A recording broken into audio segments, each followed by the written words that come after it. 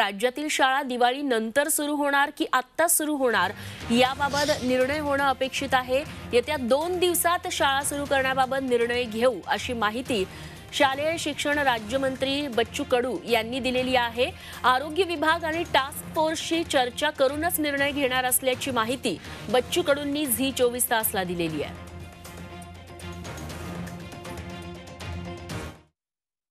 ते आता दोन दिवसात याच्यावर पूर्ण निर्णय घेतला जाईल. ते कधी सुरू करायची दिवाळीनंतर का आत्ता सुरू करायची हा निर्णय दोन दिवसात होईल. ते निर्णय घेण्याच्या भूमिका आहे. त्यामध्ये इतरही आरोग्य हेल्थ डिपार्टमेंट असेल टास्क फोर्सच्या समितीच्या माध्यमातून निर्णय होईल. विठू माऊलीचा गजर. म्हणजे